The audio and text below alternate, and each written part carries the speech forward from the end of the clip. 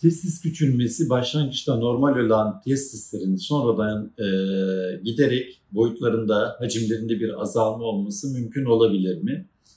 Bu evet mümkün olabilir. Dolayısıyla testislerin zaman içerisinde başına gelecek olan işlere bağlı olarak e, bu değişim sağlanabilir. Mesela ne gibi? Ta çocukluk çağından başlar e, bu dönemde geçirilen bazı bir takım rahatsızlıklar mesela yumurta iltihapları, orşit dediğimiz durumlarda, testis torsiyonlarında yani yumurtanın kendi etrafına dönmesi gibi durumlarda ya da adolesan yaşta görülen ciddi ileri derecede varikosel durumlarında testislerde o gelişim süreci içerisinde bir tarafa doğru e, öteki testisin küçüldüğünü görebiliriz.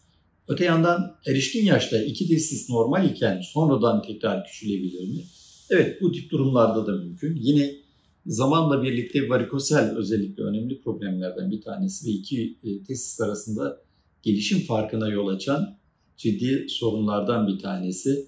Bunun yanı sıra aşırı alkol tüketimi gibi ya da e, dışarıdan steroid e, ilaçları kullanmak veya testosteron preparatları almak e, bu tip e, durumlarda e, yine görülebilir.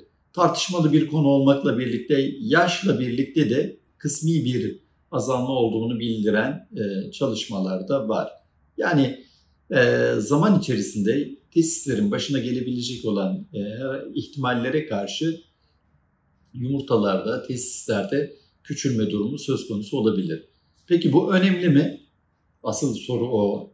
Ee, evet önemli. Niçin önemli? Çünkü bir kişinin eğer üreme çağında ve çocuk sahibi olmak istiyorsa çocuk sahibi olma potansiyelini olumsuz etkileyebilir. Ya da e, erişkin yaşta ise cinsel performansını, e, ereksiyon kalitesini, kapasitesini ciddi derecede etkileyebilir. Çok daha düşük olan e, şeylerde ise, durumlarda ise ve iki taraflı testis etkilenmelerinde ise bu belirtilere eşlik ederek fizyolojik belirtiler de olur. Mesela işte patolojik kırıklar gibi, yağlanma artışı gibi ya da e, depresif duygulanım gibi belirtiler de buna eşlik edebilir.